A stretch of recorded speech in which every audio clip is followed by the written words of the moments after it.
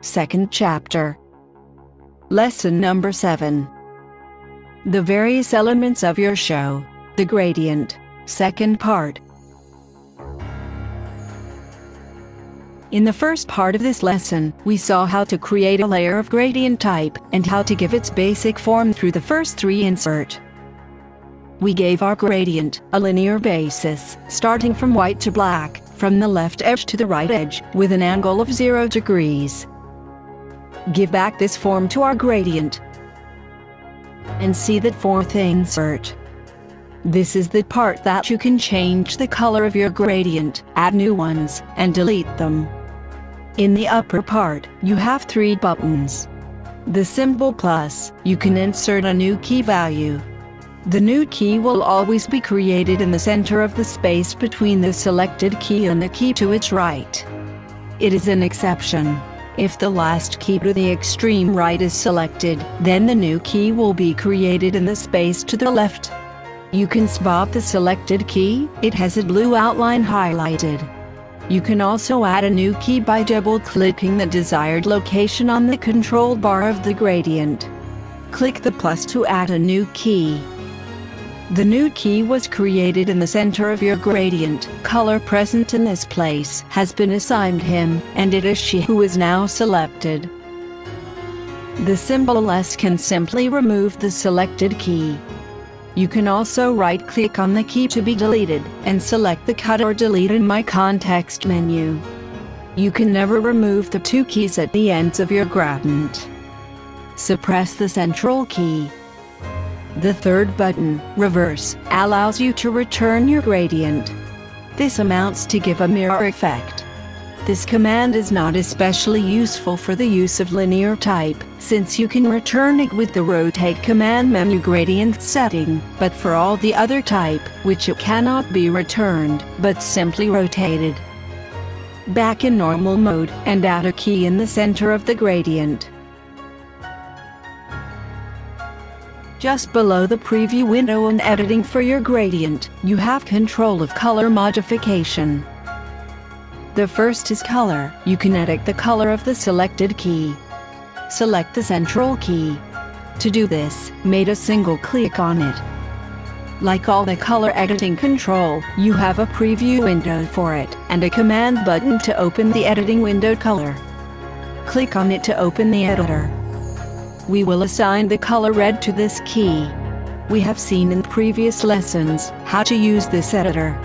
Just for information, the pure red color have the RGB value 25500. Shut the color editor using the new color to the key and see the result. We now have a tricolor gradient, starting from white to red and from red to black. We always talk in the normal sense of reading, that is to say, from left to right. You can change independently all the colors in your gradient by selecting them one to one and using the color editor for each. See the following command, opacity. It allows you to set the level of transparency of the gradient at each key. To 100% the opacity is total, and you only see your gradient. Enter the value 50 inches the digital box, or, set with the slider control, for the central key. You will find that now, red is semi-transparent, it is rather rosy, we see the image of the background, in this editor, the checkerboard transparency, and the opacity is also decreasing from white to red, and from black to red, with white and black completely opaque. Now adjust the opacity of the red key to 0% this value, the red has become completely invisible, and is now the gradient from white to transparent, and then, from transparent to black. This is very interesting, if you want, for example, create a cloud effect. You can give all the desired effects with this editor, and not having afterwards, using either the function mask or chroma key function, and thus save the memory and speed up the process of rendering your show. Forgive the opacity to 100%. The third command, position, allows you to set the location of your key.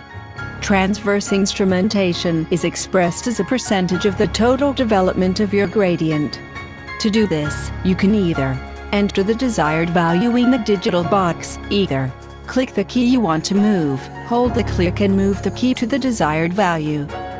Keep the red key selected and set to a position of 25%. As we have said, the gradient is created from left to right, and then, at 25%, the key will be at the top left corner of your gradient. As we have also said previously, the first and last key are not reducible, and also immovably. Made a test. Click on the first or the last key, hold the click and move there. You will notice that the key does not move, but a new key to the same values it was created, and it is what you move now. The last command is a menu, it allows you to define the type of color encoding you want.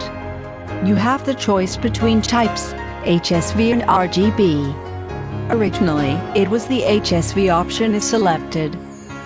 See different possibility create gradient. For example, a series of rainbow. Or, a reflective metallic effect. Click OK to make the change in your gradient, or cancel to exit the editor without changes brought to the gradient. The gradient layer type has the same properties as a solid color. It cannot be used as a replaceable layer styles or template projects, and the mask option will only be available if there is at least a second layer in your slide. Tag layer setup is the same as for a picture type, with the same functions. See, for example, a result obtained only with a gradient layer type, and the use of changing settings in the Adjustment tab. Another example using only gradient in an image. Based on this example, here is a simple style slide with only the component. and another with just some solid color, gradient, and a second layered picture.